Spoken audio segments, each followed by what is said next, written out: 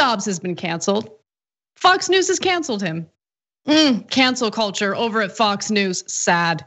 Now, uh, why? Why did Fox cancel him? He happened to have uh, one of the highest rated shows on Fox Business. And uh, According to CNN, although Fox isn't saying, the timing of Dobbs's cancellation Friday appears to be no coincidence. It took place 24 hours after Dobbs and Fox were named in a $2.7 billion defamation lawsuit filed by voting technology company Smartmatic. Uh, there's also the fact that with Trump no longer in office, Lou Dobbs's ratings aren't going to do as well because his ratings really relied on uh, kowtowing to Trump, licking his boots. Sources at Fox indicated that the Smartmatic lawsuit was just one factor in the decision to cancel Dobbs's show. His weak performance with advertisers was also a significant factor, one source said. Dobbs was one of Trump's most vocal on-air supporters, which kept his show's ratings high. And uh, we have some fun video to get to to, um, you know, just give you an example of the nonsense and shenanigans he engaged in um, during the Trump's uh, during Trump's administration. Uh, but Cenk, any thoughts before we go to those videos? Yes. So let me explain how the behind the scenes stuff works here. Um, so number one, did the lawsuit cause this? hundred percent, yes.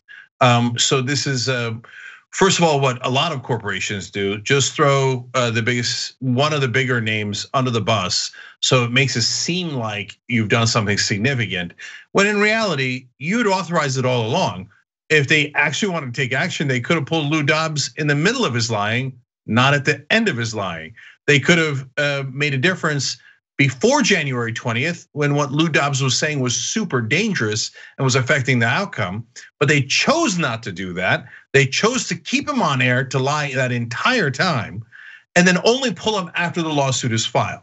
So, and by the way, uh, not only is this a well-known Rupert Murdoch strategy, he did this uh, in the UK as well, but it's literally in the HBO series Succession. They talk about it because it's based on the Murdochs and they have lots of strategy discussions about who to throw under the bus and whether that whether it's a big enough fish for the media to go away and say it's good enough like that that a scalp was taken and they could move on. So that's how this game is played. Now, the other important part is what Ana mentioned in the middle there. Uh, Lou Dobbs actually lost a ton of advertisers because they advertisers now uh, find him to be brand unsafe because they don't want to have their brands uh, on a program where a guy is a apparently a lunatic, um, raving lunatic conspiracy theories that are hurting the country. So now you you have to understand why they kept him on the air that long if he'd already lost his advertisers. So if you have high ratings, it doesn't matter at all if you don't have advertisers. The whole point of high ratings is to get you more money from advertisers. But the reason they kept him on the air is because Fox News and Fox Business make most of their money not from advertising, but from your cable subscriber fees. So they need a lot of audience so they could tell the cable providers, you need to carry Fox Business, you need to carry Fox News. So I'm gonna charge you a ton of money for that. And, and that's how they make the lion's share of their money. That's why they play this game nonstop, where they say outrageous things to get audience so they could build up their revenue through subscriptions basically, and then cut a couple of prominent people loose because they're getting hurt by advertisers and now lawsuits. So that's the needle that they're threading from a business perspective. Now, uh, with Lou Dobbs gone, um, I think it only makes sense to, uh, you know, just reflect on his legacy. And I wanna do that uh, chronologically. So many people don't know this, but back in 2007, my role at TYT was not in any way similar to the role that I have now. I was the guest booker, and um, I'm very proud to report that one of the big names that I got on the show was Lou Dobbs, who got into a pretty feisty debate with Cenk. Um, and so I have a snippet of it to share with you guys. This is from November 9th, 2007. Let's take a look. On facts, there are many things that we can certainly argue about. For example, on your show, uh, you said that a third of the people that are in jails are illegal aliens, but it turns out it's only 6%. Have you corrected that? That's not true. That is absolutely not true. Nearly 30%, nearly 30% of those people in our federal prisons, okay, are uh, of. Uh, Not according to the Justice Department. Uh, yes, according to the Justice No, Department. I've got- You're referring I'm- a- I'm looking at the numbers right now. Listen, how can you reform immigration law if you can't control immigration? How can you control immigration if you don't control your borders? You border? do a comprehensive piece of legislation that recognizes the people that are here, that recognizes the future problem, that recognizes controlling borders. You take all that into account. I have no problems with that. Absolutely. Need you out in 30 seconds. All right. Uh, the book is Independence Day. And uh, one last question for you, real quick, in 30 seconds or less. No. Christopher Columbus. Do you celebrate Christopher Columbus Day? Because he was an illegal alien. I didn't ask for permission to come. Uh, actually, I don't like. Uh, I, I frankly am no fan of uh, St. Patrick's Day, Columbus Day, or any other uh, celebration of uh, of uh, heritage. What a liar. I mean, that last part is hilarious. But the woman that you heard in the audio uh, was his publicist who did not appreciate the tone of the interview because Cenk was asking him some pretty tough questions and he did not like that. Neither did she. To be fair to Lou Dobbs, he actually stayed on, right?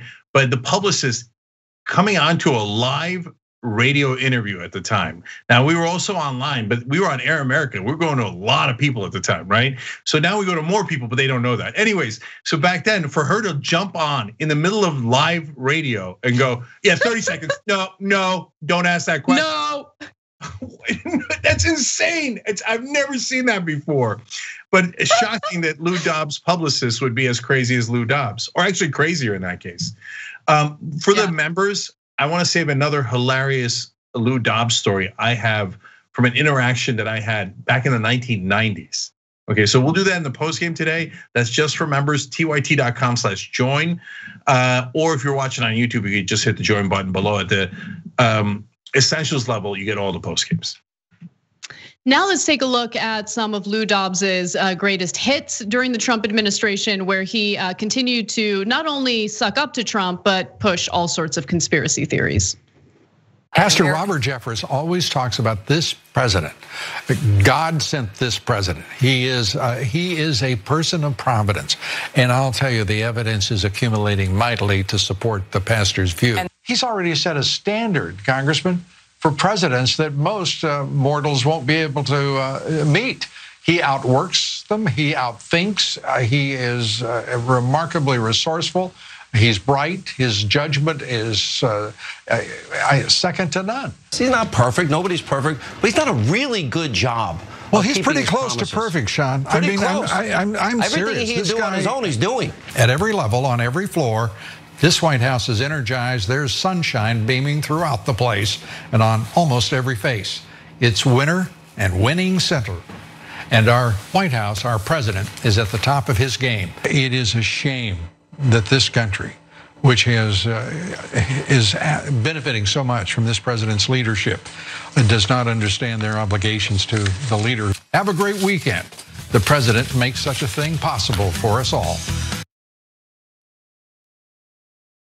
Man, not only did his show get canceled, it got canceled after four years of this man showing that he has no dignity, no dignity, no self respect. Lou Dobbs, man who lacks self respect. Man, that is an embarrassing montage, I will say. Yeah. So uh, first of all, he said um, we have an obligation to the president to compliment him. Mm, I'm pretty sure that's not true. I think you think you have an obligation because it's in your DNA. I mean, that dude's a natural born bootlicker. The only thing Lou Dobbs was doing his whole life was searching for the right boot. Um, so he, he well, he found a second boot now, the one to the back of his ass from Fox, because he's gone. Um, but I'll tell you, uh, when he, I don't know what was more over the top, him saying that Trump was close to perfect, him saying that Trump outworks anyone or Oh outthinks anyone, let alone everyone. I mean, you really have to be. That's why I say Lou Dobbs is deranged. I, I think he genuinely believes things that no rational human being could come close to believing. And then he ended it with, "We're gonna have a weekend thanks to the president." Wait, what? we have weekends because of Trump. He invented a hot tub time machine that apparently he and Lou Dobbs got into, which was apparently the best moment of Lou Dobbs' life. They went back oh. to invent weekends. You want to know who actually invented the weekend? Unions.